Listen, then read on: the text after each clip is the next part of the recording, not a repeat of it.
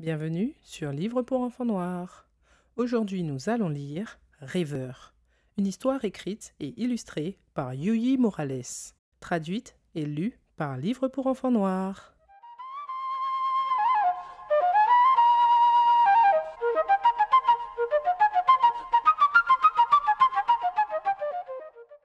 Rêveur. J'ai rêvé de toi et tu as apparu. Ensemble, nous sommes devenus resplendissants de vie, toi et moi. L'amour, love, amour.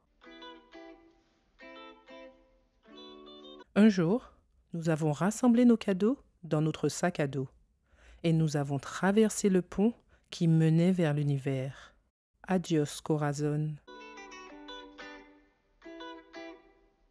Et lorsque nous sommes arrivés de l'autre côté, assoiffés et émerveillés, incapables de retourner, nous sommes devenus des immigrants.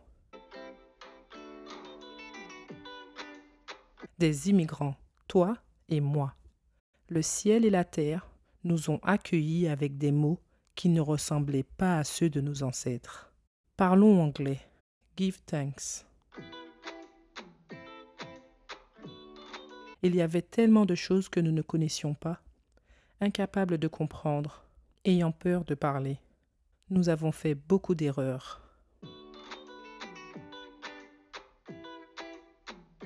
Toi et moi, nous sommes devenus des marcheurs. Nous avons fait des milliers et des milliers de pas à travers cette terre, jusqu'au jour où nous avons trouvé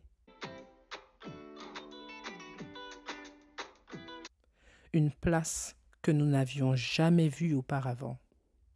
Suspicieuse, improbable, incroyable, surprenante, inimaginable. Nous n'avions pas besoin de parler, nous avions seulement besoin d'avoir confiance et nous l'avons fait. Les livres sont devenus notre langage, les livres sont devenus notre maison, les livres sont devenus notre vie. Nous avons appris à lire, à parler, à écrire, et nous avons fait entendre notre voix. Un jour, nous allons devenir quelque chose que nous n'avons pas encore imaginé.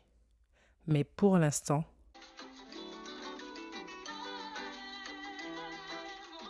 nous sommes des histoires, nous sommes deux langues, nous sommes la lutte, nous sommes la résilience, nous sommes l'espoir, nous sommes des rêveurs, des rêveurs du monde.